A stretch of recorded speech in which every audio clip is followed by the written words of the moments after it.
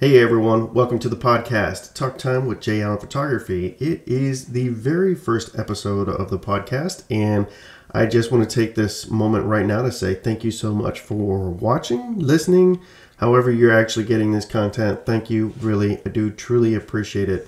Uh, if you follow me on YouTube, Instagram, uh, here just on the podcast, thank you. I really do appreciate it. Time is valuable, time is money and uh, I couldn't be doing what I do without you. So thank you very much from the bottom of my heart. So this is the very first episode, and what I would really like to do is just take this first episode, maybe the second, to kind of introduce you to me. With YouTube, I really didn't get a chance to do that. It basically just kind of hit the ground running with videos, and I never really got to kind of got to tell people who I am, where I'm from, what I do, and so uh, the podcast kind of gives me a little bit better format to do that. And so that's really what the intention is with the podcast.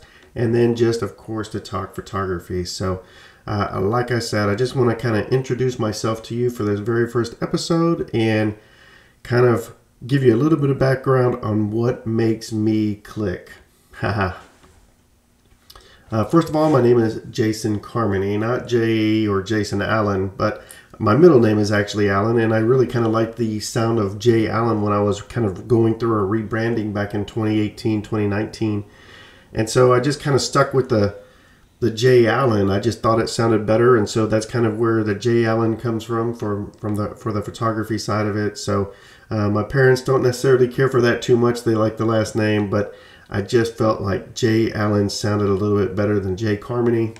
Who knows? I could be wrong, but that's where uh, that came from. So, uh, if you are finding me from YouTube or Instagram, thank you again for listening. The YouTube channel has just kind of been an out of nowhere thing for me. I I really at the beginning of 2023, my idea was to post a video every week and just see where it went. And I really kind of had no clue. I did have some ideas. I wanted, you know, a thousand subscribers uh, and I wanted to monetize the channel. And there's a lot more to monetizing a YouTube channel than just having a thousand subscribers, but that's kind of where I was thinking. And I never once in a million years thought I would be sitting at 7,000 after my first year. Whether that's good or bad, you know, I don't know. But uh, for me, it, it blows me away. And, and it's just something that has been really special. And I've truly enjoyed it. I've truly get it. I, have truly enjoyed getting to read a lot of the comments uh, that I get from the YouTube, and so um, I just really do appreciate those who take the time to watch every video every week. And you know, I know there's probably not content for everybody in there, but there's content enough for some people, and so. Uh, for those people who take the time to watch and comment and, and subscribe, man, you guys are rock. You guys, you guys are are awesome. And that's kind of where I am with the podcast this year. I just was like, you know what? I've really kind of wanted to do this. I think it's uh, an avenue that uh, some something that I just kind of really wanted to pursue and create. And so here we are, right before the beginning of 2024. And just like with the YouTube channel, I want to try to do a podcast every week and just kind of see how it goes, where it goes. Um, several maybe about a month and a half ago, I was listening to a podcast, and the title of the podcast was "Why Not Me," and and it really was kind of like you know why not um, take these steps? And so for me that's kind of where i was really like on the fence with the podcast and i just decided you know what? Why not? Why not me? Why just why everybody else? You know i just wanted to go ahead and try it and see what happens. And if nothing comes of it nothing happens of it so be it. But i just i didn't want to go and think, man, I wish I would have done that, and I didn't. Uh, so here we go, episode one, and uh, yeah, I'm excited. I think it's I think it's something really special, and it just kind of is is something that's kind of been on my heart for quite a while. Uh, how did I get into photography? You know, I have quite a few people ask, and I like to actually tell the story, and so I'll go ahead and tell that here. Years ago, way back back in 20, 2005, actually, is really kind of where I, I first started into the world of photography. I had absolutely zero clue what I was doing. Uh, I didn't even have a good camera. Uh, I mean, that seems like such a long time ago, but 2005, I actually bought my very first Mustang. And so I had wanted a Mustang since I was like 15 years old, and so to finally get my hands on one, man, I really wanted to capture photos of it. And so I got like a little point and shoot camera. You know, we didn't have cell phones with good cameras at that point, so it was a point and shoot Canon camera, and I was using it to take pictures of the Mustang. And I was part of some Mustang groups. You know, forums were big back in those days, and so uh, me and some Mustang buddies, we would go out, watch the cars on the weekends, and take some pictures of the car. And and you know, I I kind of was okay at it, but the camera for the most part on those point and shoots does pretty much everything. So I really didn't have to do anything other than literally point and shoot. So, but I kind of was falling in love with it. You know, it was really fun to do. I was getting some cool photos of my car, and the best thing about it is the car didn't complain if I got some bad photos. You know, I just go out the next weekend and do it. Yes, something I haven't introduced about myself. I am married and I've got a beautiful 22 uh, year old daughter, and she does kind of play into this a little bit. But my wife and daughter both would tell you that to this day, I have more pictures of that first Mustang than I do of both of them. And I would probably agree. Uh, but that's really, auto photography is really kind of what kind of got me going in photography.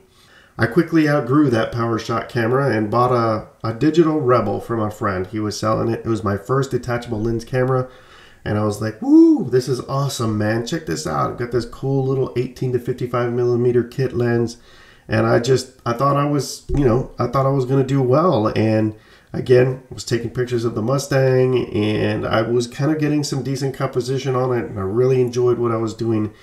Um, some friends were asking me to take pictures of their cars. So you know, it just kind of grew from there. My daughter, she was real young at that time, and so she would kind of jump in front and do some posing and pictures and stuff like that. Posing, not anything decent, but you know, like I, I didn't know what to do as far as posing her, but she would sit there in front of the Mustang and pose with the car, and so I would take pictures. And so she was kind of jumping into that. You know, slowly but surely, I was kind of learning that camera and, and learning photography, but um, and I say slowly, and I mean slowly. It took me a long time to learn the camera. That was in 2005. And jump ahead to 2010, and I was deployed to Afghanistan, deployed with a photojournalist. And so I was kind of showing him some of my Mustang photos and trying to maybe pick his brain about photography and, you know, maybe see what I can do to become a better photographer. And so he kind of gave me a little bit of a rundown of what I should be looking at as far as a camera and and what things did on the camera because again I still didn't have a clue. I really didn't know what the shutter was. I didn't or, or how it affected anything. I didn't, you know, let me rephrase that. So I'm a videographer in the Air Force and I know about shutter, I know about aperture, I know about ISO, but I knew it from a video standpoint, not from a photography standpoint. So I would talk to my photojournalist friend and ask him. And so he was kind of guiding me a little bit along the way, but not in a way that I, I really needed or not in a way that I fully understood, probably is a better way to, to say that.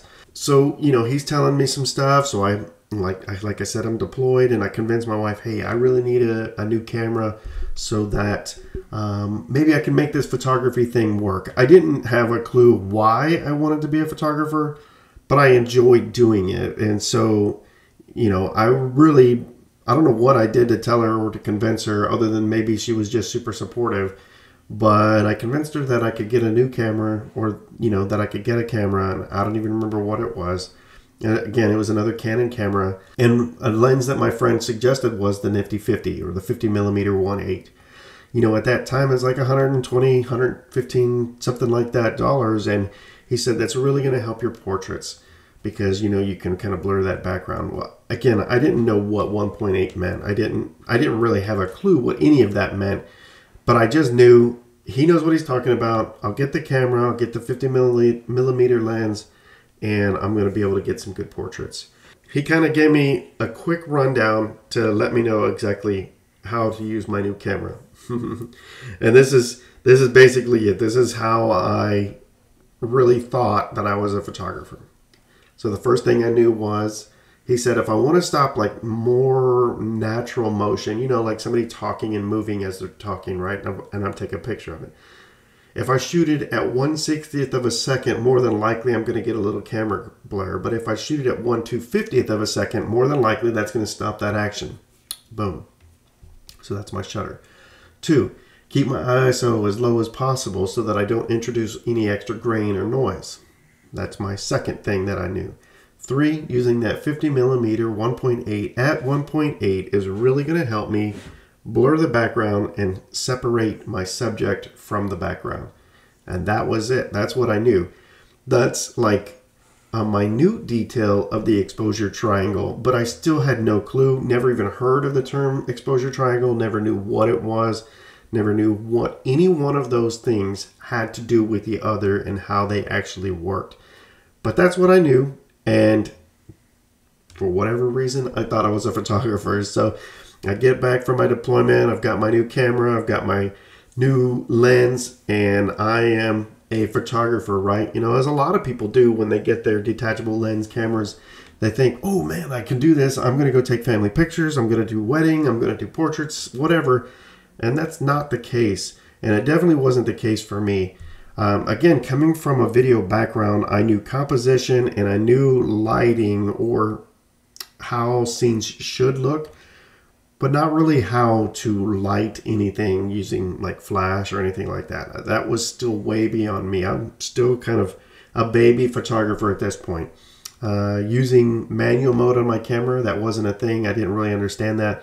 I did know about aperture priority and shutter priority to where if I could put one, put the camera in an aperture priority, you know, it's going to let me keep my aperture where I need it and it will adjust everything else on the camera. The same with shutter priority and auto, of course. I tried not to use auto, but I, I still didn't really know what I was doing. So using those priority modes really helped. The problem was is I didn't understand them.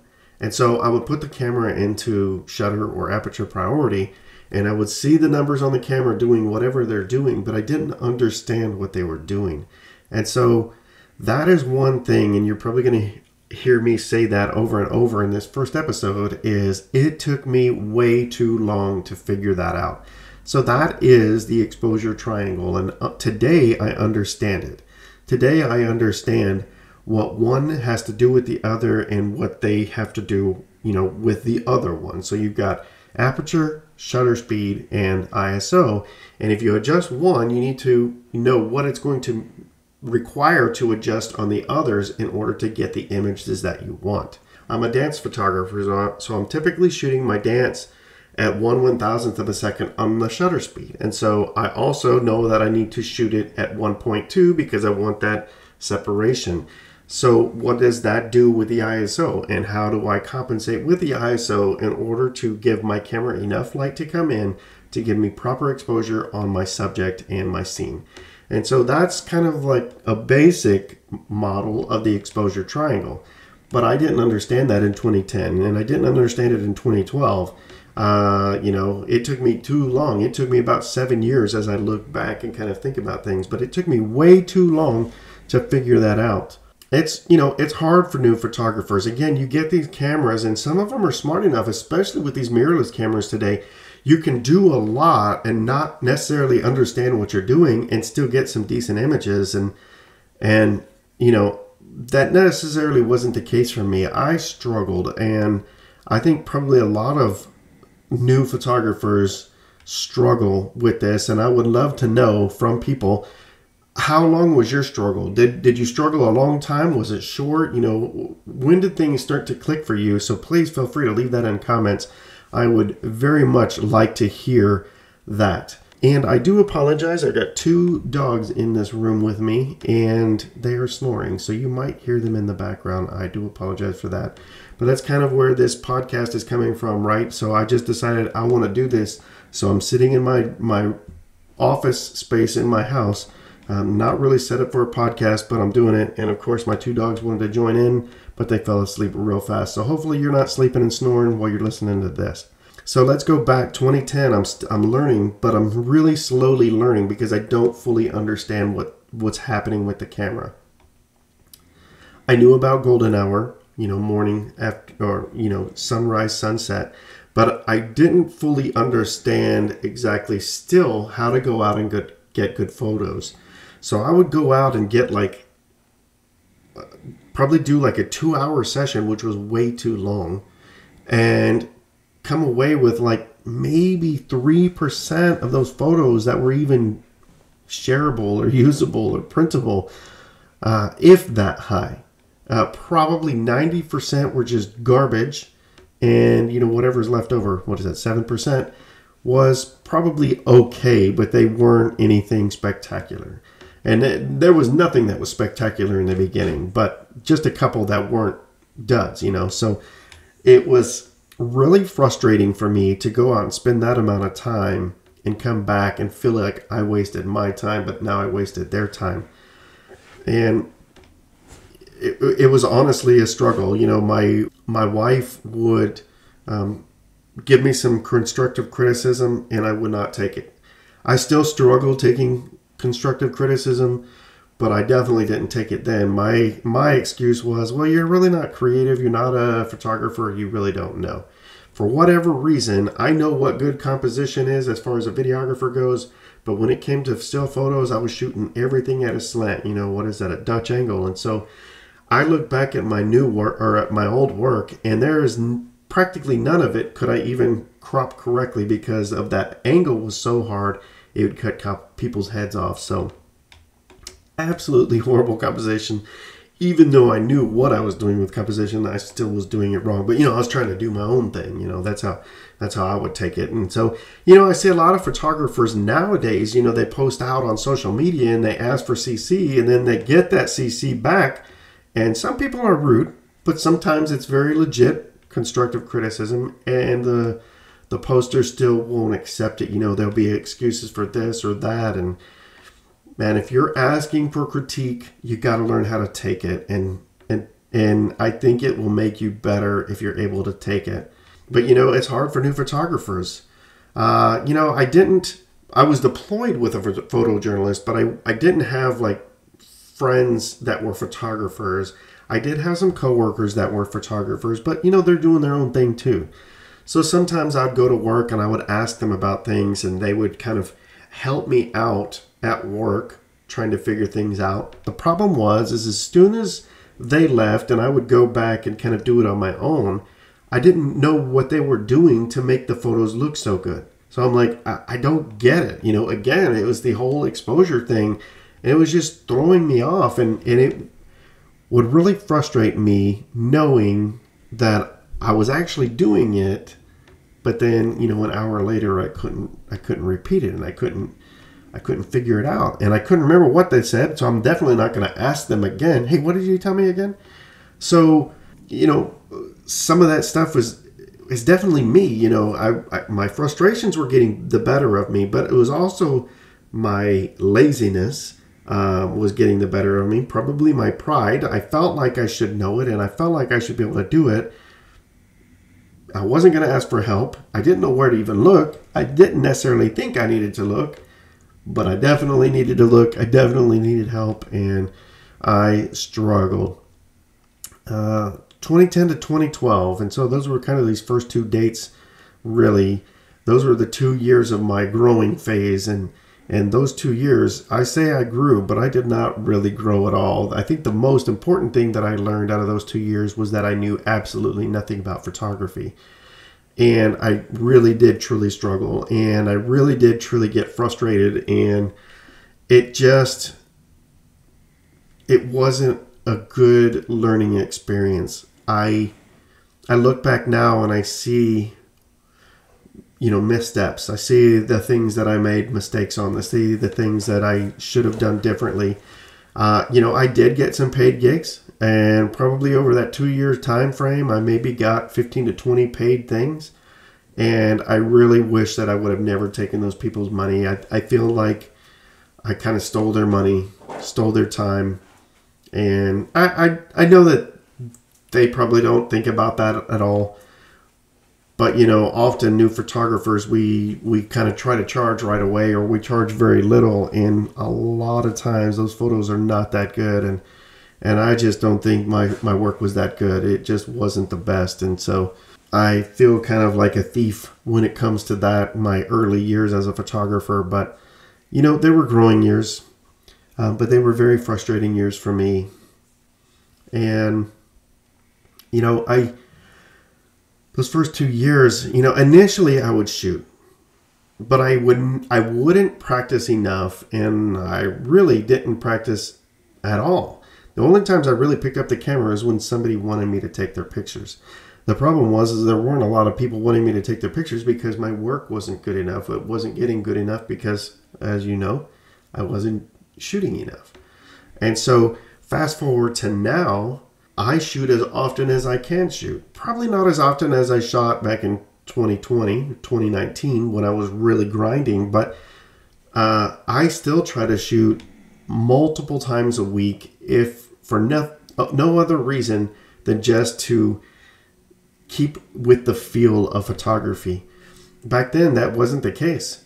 You know, I wouldn't pick up the camera for months. And so then I would get somebody that would want me to take pictures or something like that. And so I'd pick up the camera and start rooting around and fumbling all over the camera trying to learn the camera again. And you can't do that, you know, on a photo session. And so, you know, it was just one of the hardest things for me to understand. I didn't go to YouTube. YouTube was kind of new at that time there were probably still people out there learning or teaching photography, but I wasn't out there looking for it. And that's probably the biggest thing, the biggest difference from 2010 to 2012 Jason to this new version of me where now if I want to figure something out, I'm going to go out and look for it right then. Then my ego, my laziness, um, my entitlement, I, I, didn't want to look for any of that. So, uh, you know, 2010 goes, 2012, you know, I'm getting ready to move.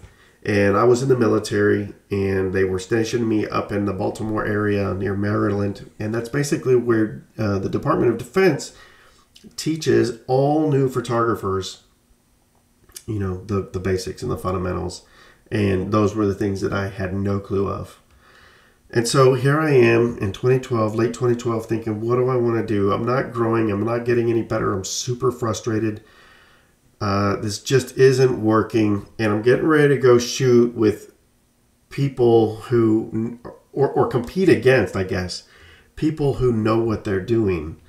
And so I just, you know, I just was kind of like, you know what, let's call it a day. This thing isn't working for me. Uh, the only thing I can actually really take decent pictures of is my car. And so I had my nice little camera, nice little camera bag, my nifty 50, and I pretty much put them all away, put them in a closet, packed them up, and moved to Maryland. And I basically quit photography. Uh, the only thing I would really ever pull it out for was to take pictures of my daughter, take pictures of my wife, or our family. They weren't the greatest but those were about the only times I picked it up. So my photography career basically began and ended in a two year span with me learning really next to nothing about photography, the basic fundamentals, and I quit.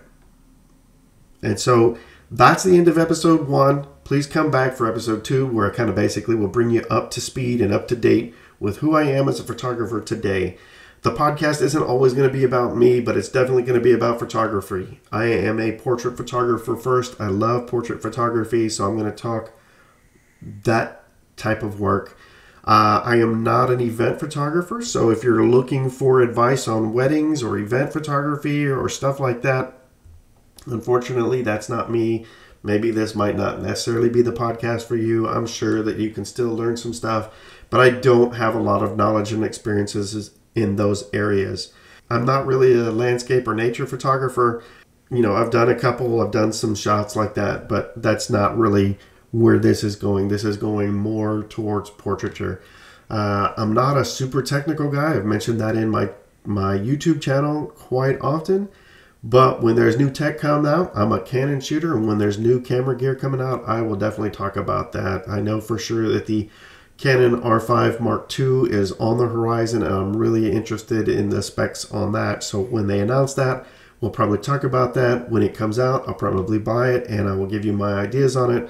Uh, there's uh, some lenses that are probably going to be dropping this year. I'm not going to get every one of them, but I would love to maybe test them out, use them, and give you my ideas on these lenses. Uh, it's not going to be all tech. but you know, I, I do want to keep people interested, so that's kind of where I'm going to go with that.